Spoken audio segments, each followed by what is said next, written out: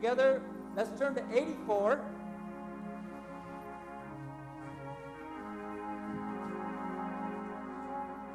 Eighty-four, singing one, two, three, and four.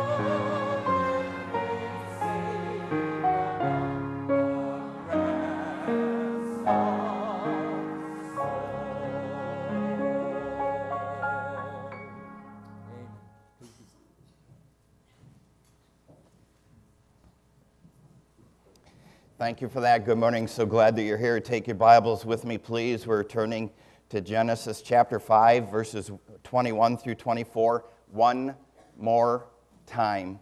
Genesis chapter 5, verses 21 through 24. I invite you to stand with me for the reading of God's holy and precious word.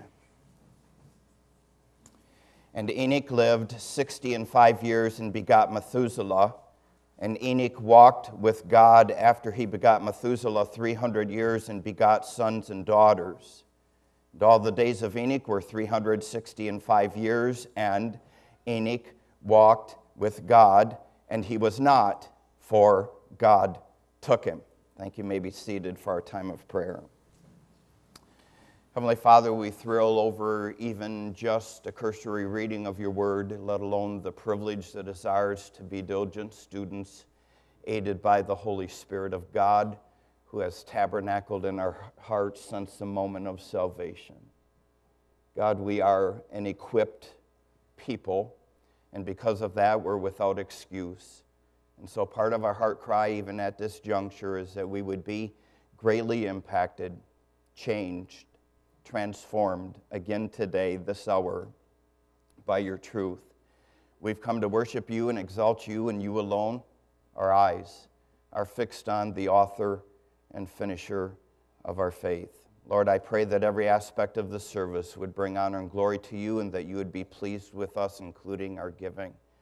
And what joy it is to give back to you a portion of all that you've entrusted to our care especially with a view to your having given us your all. Lord, we have every motivation to love and serve you, and I pray towards that end. And we're careful to pray again this morning for those who may be here or within the sound of this voice who have not yet put personal faith and trust in the one and only Savior. I pray that today, this hour, would be the day, the hour of their salvation. Do a great work in every heart, we pray. For Jesus' sake, amen.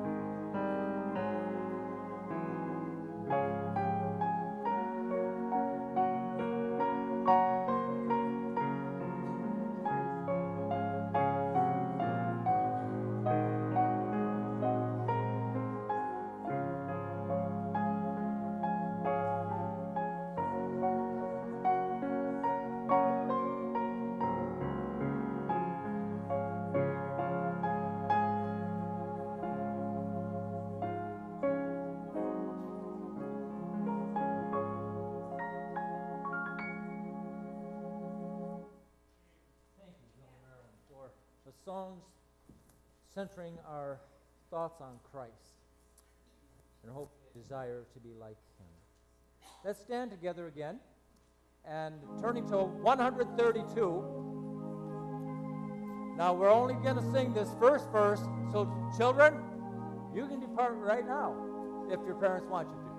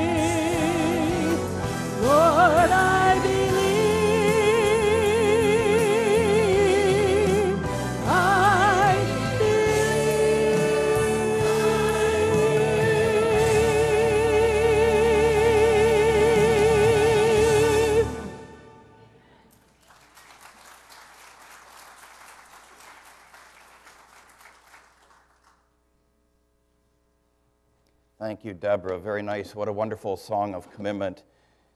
It, it, it's really a pledge.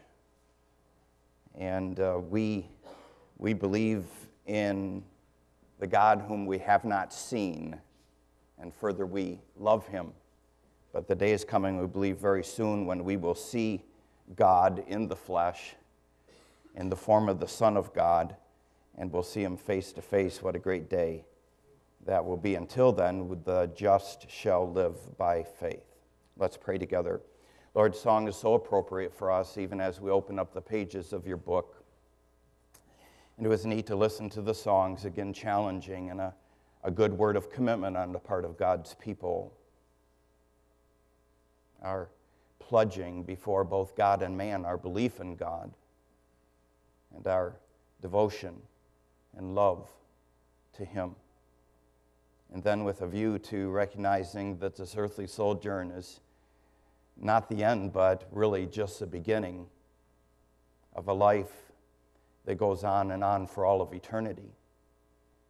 And as we cite that together, we are instantaneously reminded of the crucial import of the Lord Jesus Christ, the one and only Savior from sin, and how important it is that we have a personal relationship with Him. Lord, I pray that as we look into your word, that the Spirit of God would once again be our guide, that He would turn the light on as He so faithfully does, and then that we would allow Him to prep our hearts for the reception of your truth, that your word would be like a seed that's planted deep into our hearts and subsequently brings forth fruit, yea, much fruit. That's our prayer. We pray in the name of the Lord Jesus Christ. Amen. Our study in Genesis has brought us face to face with an Old Testament patriarch by the name of Enoch. Although, and we've recognized this many times together, although not a whole lot is said of Enoch in the scriptures by way of volume, what is said is very significant and revealing. So much so that we have spent four sessions focusing in on Enoch, and we need a fifth this morning to finish our considerations of this very special and unique man. Um, we have yet to consider the last two phrases or statements of verse 24 of Genesis 5. You know, our text is Genesis 5. Our focus this morning is on the last part of verse 24, where after uh, the narrative informs us that Enoch walked with God, we in turn are informed that he, Enoch, was not, for God took him. Uh, there's a beautiful flow to verse 24, the unfolding of a wonderful story. In fact, I don't think that there is any more wonderful story than this that a person is walking with God and then he is not. And the reason why he is not is because God took him. It's a great story. My proposal to you this morning is that Enoch's story is really the story of each and every one of God's people. And even that ought to highlight how desperate our need is for having a personal relationship with the great Creator God through His Son, the Lord Jesus Christ. Our story is really Enoch's story. And, and it ought to be, and it must be. You're walking with God, and then all of a sudden you are not and the reason why you are not is because God has taken you. By the way, I remind you, and this reflects on some of what God has taught us already in regard to this awesome statement in connection with Enoch that he walked with God. Thank you. You, you have taught me. You have given me further insight into the significance of this wonderful biblical phrase. In fact, it really goes deeper than that. I, I don't know that we're going to be the same going forward. I don't know that we're going to forget the high calling of God on our lives in regard to this practically being true of us, that you and I are in the process of walking with God. But I want to interject here the fact, something that we saw as we discoursed our way through that, that when you walk with God, that makes you a prophet. And I'm not talking about where you are foretelling a new thing. That's not necessary. But I am emphasizing with that the fact that you are forthtelling all that God has revealed to you in His Word. You are forthtelling the blessed gospel, the good news of Jesus Christ, and then all of the doctrine, blessed doctrine, that God has discoursed in the B I B L E you are a prophet You see, the man, the woman, the young person who walks with God, God reveals his stuff to him. So if you're walking with God, you are a prophet, and we ought not to forget that. Let's take a little closer look. Again, awesome. And Enoch walked with God, and he was not, for God took him. We spent a number of sessions coming to appreciate and understand what exactly it means to walk with God. And now the narrative tells us, and he, Enoch, was not. That phrase, he was not, in the English comes from a single word in the Hebrew, ayin, and it means nothing. Sounds kind of funny. And Enoch walked with God and nothing. So, what in the world does that mean? Well, inherent in the term, and this is so neat, you'll have to pursue it on your own, both to substantiate and then to revel in its realities. A couple of interesting nuances to this particular Hebrew word. One inherent in the word is a sense of query. That is, it begs the question where. So, as you read the narrative initially, and you envision, because your mind pictures everything, it's kind of neat. As we were working our way through uh, Genesis 5 and we came to verses 21 through 24, and especially this idea that Enoch was walking with God and then boom, he was not. You pictured all of that in your mind, and, and, and what governed the picture was a question where did he go? And I'm telling you that the word that we have here actually warrants you asking that question and it sort of creates an interesting picture and a scene for us that we probably don't go far enough in exploring. The word itself begs the question where, where did Enoch go? He was here one moment and boom, now he's gone. Where did he go? He was right here, people would say, and now he is not. Nothing. Where did he go? You have the idea. But there's a second nuance to the truth. By the way, I thought you'd be a little bit more excited even about that, but you stick with me, some good things are coming. There's a second nuance to the, to the word as well. Not only does it beg the question where, but, but, but the word signals that there was, again, something you've already pictured. The word signals that there was a search. In, in fact, you'll, um, find a New Testament text very interesting that we will pursue in just a moment. But then this Hebrew word, the New Testament is about to substantiate what I'm telling you semantically from the Hebrew term uh, ayin. Not only does it have inherent in it the sense of query, where you would ask the question, where, where in this case did it go?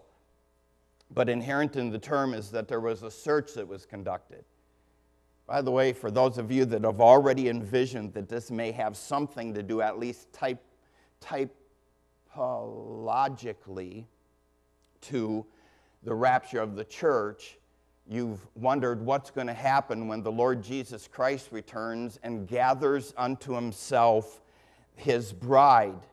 Well, I think we're seeing by way of type some of that here in Genesis chapter 5, where I, I don't know that you can overemphasize this. We, we would say, Enoch was right here. We, we'd say, I, I, was, I, I was sitting here talking to him. He was right here. Where did he go? In the modern vernacular, we would have put out an all points bulletin with this detailed description. Hey, this guy is missing. You need to help us find this fella. You envision, I'm too old, you envision someone running in and out of rooms in different places and saying, Where is Enoch? Where did he go? We just saw him. He was right here. All of that and a whole lot more is invested divinely into a single word. Enoch was right here. And then, boom, nothing. Where did he go? I'm telling you, that's one exciting story. I'm telling you that you will not find a better story than this that a man, a woman, a young person walked with God, and then, boom, nothing. Where did he go? God took him. It's the bestest story in the whole wide world. Any story, listen, any story that you and I would make up concerning our lives would be inferior to the story of Enoch that he walked with God and then nothing. Where did he go? God took him. I, I, want to take you over to the New Testament uh, parallel passage, Hebrews uh, 11. This is so neat, and uh, you, you, guys are, are familiar with this text too, but boy, it's important that we put, put these together. So we're turning to the New Testament book of Hebrews. We're heading to chapter 11, and we'll be looking at and we'll be reading and considering some things in verse 5. Hebrews 11:5. By faith, here is this hall of fame of faith. We just love this. And guess who's here? Enoch. And, and guess, we, we believe Paul is the human author here, inspired by the Spirit of God. And guess, guess who Paul's going to focus in on? It's the Old Testament patriarch Enoch. It's the Enoch of Genesis 5, verses 21 through 24. And this is what we read in verse 5 By faith, Enoch was translated, what a neat word, that he should not see death. Isn't it interesting that God spells that out for us, that Paul spells it out? He was translated that he should not see death and was not found because God had translated him. For before his translation, he had this testimony that he pleased God. It's going to be hard to read that verse and not just spend the next three sessions here in Hebrews 11:5, but actually, if you've been with us a while back, we did that. But you see that phrase, and he was not found. Enoch was translated that he should not see death and was not found. It's the very same word that we have in Matthew chapter 2 and verse 8. I'm taking you to Christmas. I'm taking you to Christmas time. I'm taking you back to Matthew 2 and verse 8 in your mind's eye. You've heard of Christmas in July. This is Christmas in what month is this? This is Christmas in September. I'm taking you back to Matthew chapter 2 and verse 8, where Herod the Great is speaking to the wise men who had come to worship the Christ child. And he says to them, Go to Bethlehem. Listen to the terminology, because we have our very same word here. Go to Bethlehem, search diligently for the young child, and when you have found him, Listen, there was that kind of search, what you've envisioned as happening by way of, of seeing in regard to Enoch having walked with God, having walked, having as, as he is walking with God, and then boom, nothing. Where did he go? Oh, God took him. There, there was a search that unfolded to try to find Enoch. Where did he go? That kind of search. People diligently searching for Enoch. Where did, he where did he go? He was here one moment, and boom, the very next moment, he is gone. There's something else here in the Hebrew text that I, I, want you to consider. It revolves around the word translated. Actually, the word is used two times in this little text. Enoch was translated that he should not see death. I can't even begin to express to you what a tender and terrific term that is. Translated. We have a great translation here. The, the, the word in, in the original means to transfer, to transport, to translate. But what we miss in our English is that it's a compound word. In fact, the root word is tithemi, which normally means to place but attached to it, it by way of prefix is a preposition, meta, which means with. We miss this in our English translation. Please don't miss it any longer. Whatever transportation God is talking about here, whatever um, transfer God is referring to here, whatever is being transported here, you can be assured that God is accompanying and doing it himself. That's why, and this takes us back to our text in Genesis 5 and gives us further and stronger warrant for emphasizing the fact that Enoch was walking with God and then nothing. Where did he go? Answer God. Listen, God Himself took Enoch. I don't know if you, um, I don't know if I'll express this to you very well. I, I am ready to recognize with you that there is some mystery in, in what I'm pursuing with you uh, presently. But I reflected on this and I think that it holds water. Every single thing that God does for and to you is personal. It's always with God. God doesn't, and I, I'm, I, I will reflect uh, with you in just a moment on the great doctrine of angelology. But listen, God does not entrust his dealings with you to anyone else. He is the source of the dealings with you. It is always with God. That's why we have his promise. He will never forsake us. He will never leave us nor forsake us. Why? Because God is always with us. I understand from a theological standpoint that it reflects on the great doctrine of God's omniscience, but don't miss the personal nature of the thing. Don't miss the heartwarm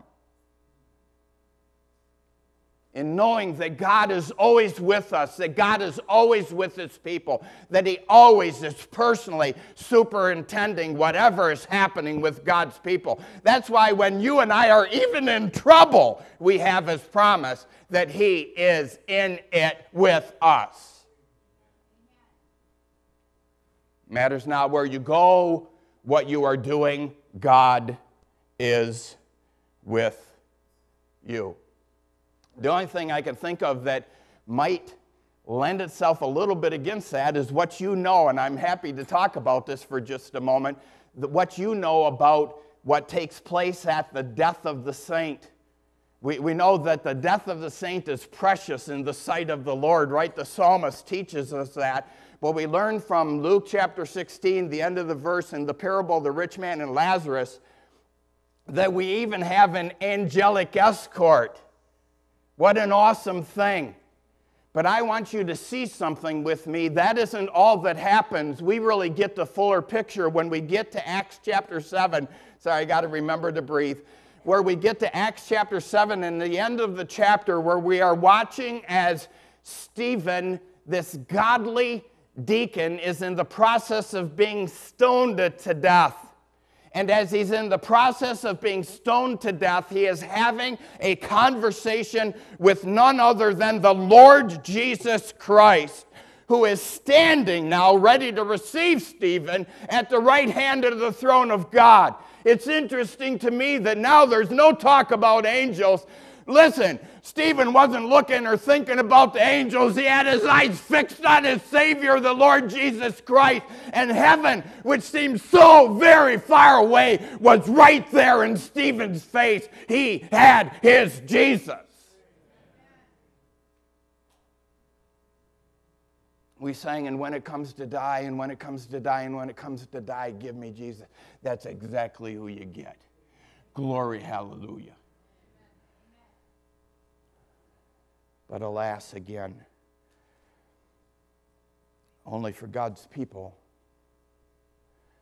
only for those who have put their faith and trust in the one only Savior, only for those sinners, we all are, who have turned from their sin and embraced God's one and only divine and eternal provision for your and my sin. Jesus Christ. Crucified, buried, and risen again. The preposition is there, it's not translated for us. With God, it's always with. Every one of his dealings is personal. And so, no mistake that we're reading in Genesis 5 and verse 24 that God took him. Something else about the word translate, translated here in Hebrews 11:5.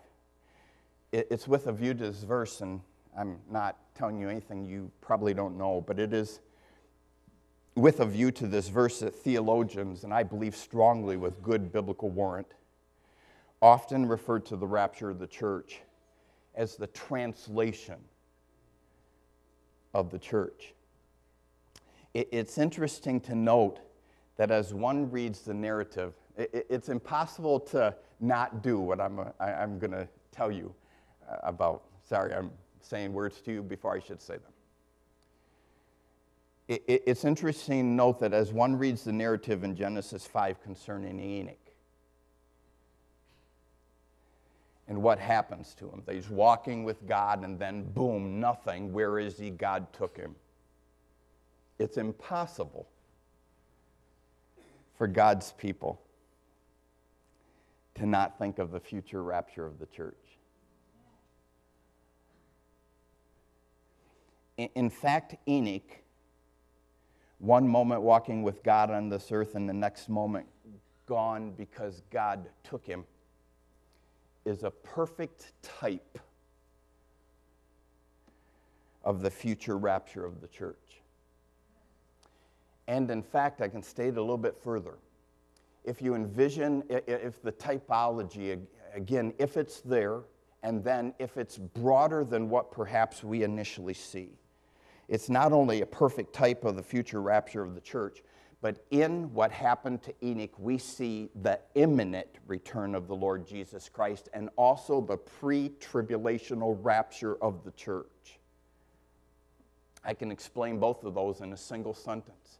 Here's Enoch, he's walking along. There's no signs, nothing else, no other information that is given to us. He's walking with God, and then all of a sudden, boom, he's gone. That's imminency. That's why if you are, if you go someplace like Calvary Baptist and the topic is the return of the Lord Jesus Christ, why that will be a, will be a prominent theme. I know that the Apostle Paul believed in it. I know that the Apostle Peter believed in it. And I know that the Apostle John believed in it. And I know that the Lord Jesus Christ believed in it and so it's good enough for me. Any moment, Christ could return for his bride. The rapture of the church, the translation of the church. And isn't it interesting, again, reflecting on the typology, which is awesome to me?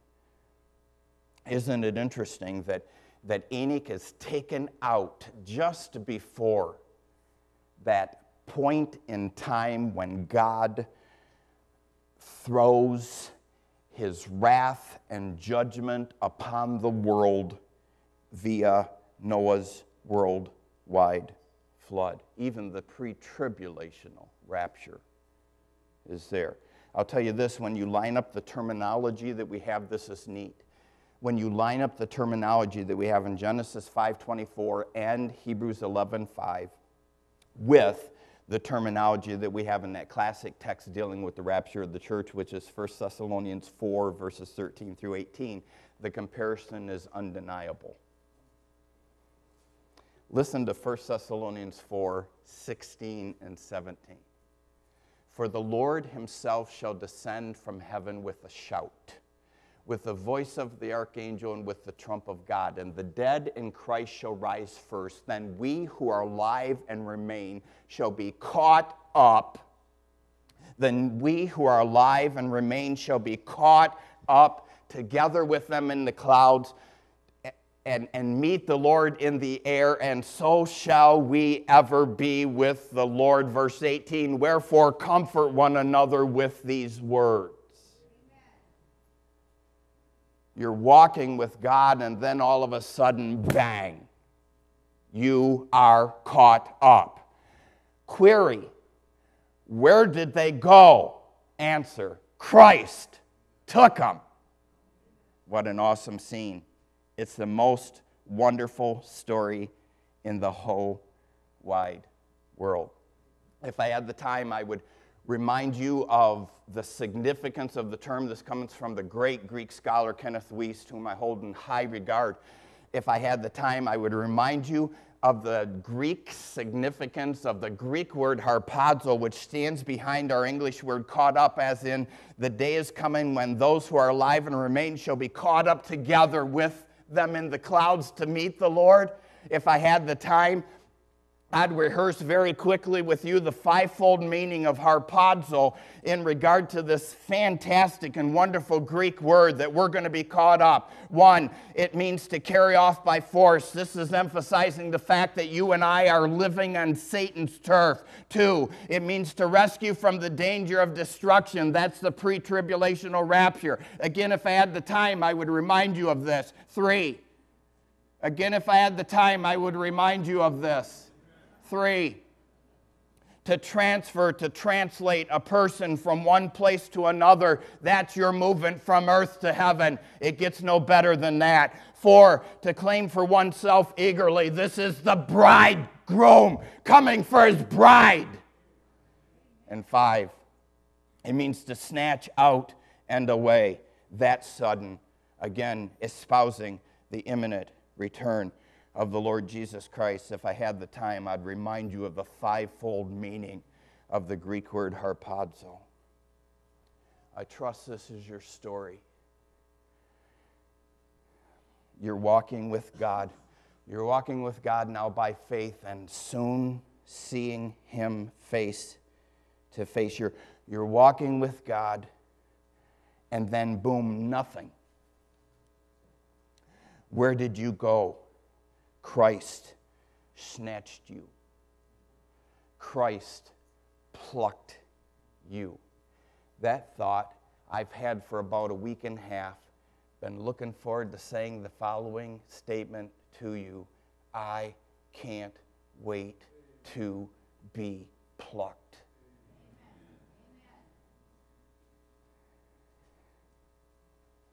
But oh, what a different and tragic story for those who are not walking with God, for those who do not know God, for those who have rejected God's Son. What a different and tragic story. I'm commending to you again the one and only Savior.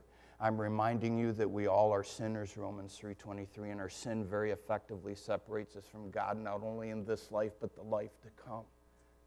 I'm reminding you of the love of God and the love of Christ, where Christ in turn came and mounted Calvary, having lived a perfect life, mounted Calvary and took upon himself your and my and the sins, your and my sins and the sins of the whole wide world and bore the divine penalty for it so that you wouldn't have to. I remind you in a powerful proclamation that he was and is indeed the Son of God, God in the flesh. After having been buried, three days later, he rises from the grave and now has ascended on high, and even now is poised and ready to return to come and capture and snatch away and pluck his bride. Jesus died for you. He bore the penalty of your and my sin so that we wouldn't have to. And the Bible invites us to receive him. John 1:12, but as many as received him, to them gave he the power to become the sons of God. The Bible describes Christ and his great sacrifice on Calvary's cross, yea, the gospel, the good news of Jesus Christ, as a gift. And there's only one thing you can do with a gift too precious to earn. It can only be received. Have you received Christ as your personal Savior? Has there been a point in time? When you recognized your need of Christ because of your sin and you prayed to receive Jesus as your own personal Savior? If not, would you do that right now in the quietness of this moment? Every head is bowed. And as I lead you in a word of prayer, concluding our service, first part of my prayer is certainly appropriate for those who may be here today apart from Christ. It, it, it, it's time for you to put your personal faith and trust in the one and only Savior.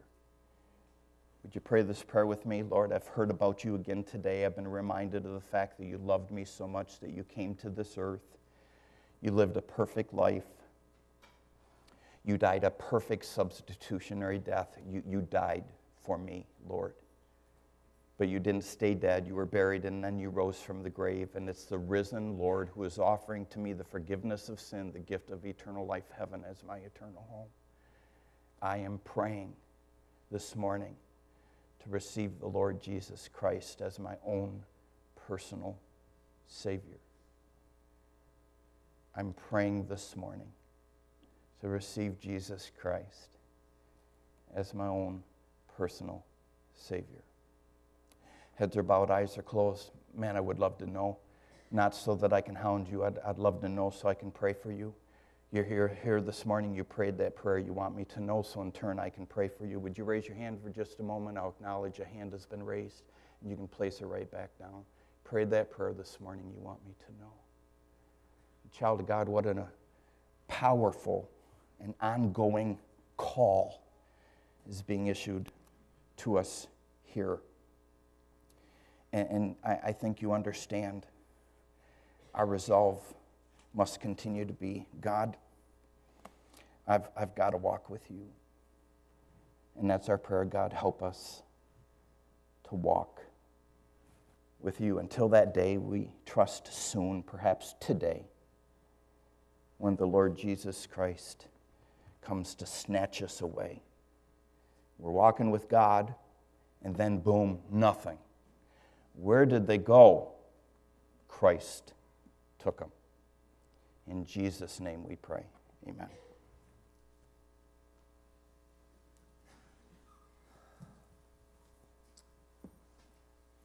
I hope you're ready. Oh, that we be ready. For those who are, it will be worth it all. Well, let's stand together singing the first verse of 129, 129, standing and singing together, please. Of time the days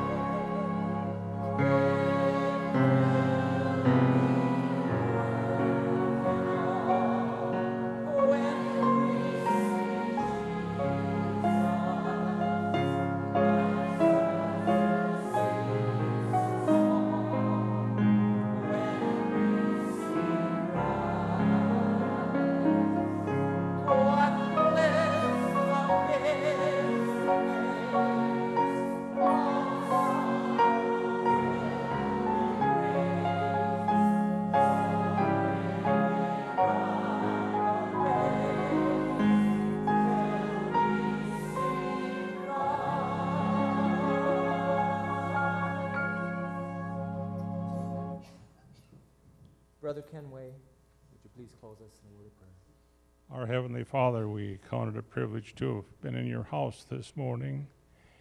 Thank you for the scripture that we've had the privilege to review for these weeks. Thank you for the testimony of Enoch and the testimony that he walked with God. We just ask that that challenge would ring true to each and every heart, that we would walk with you moment by moment in a walk that is worthy of the calling that you've placed upon our lives. Go with us through the hours of the afternoon. We just want to say thank you for the wonderful gift of salvation, for the joy of knowing Jesus as Savior and Lord, and the truth that He's coming soon. Make that very real to each of us through the hours of this day. In Jesus' name, amen.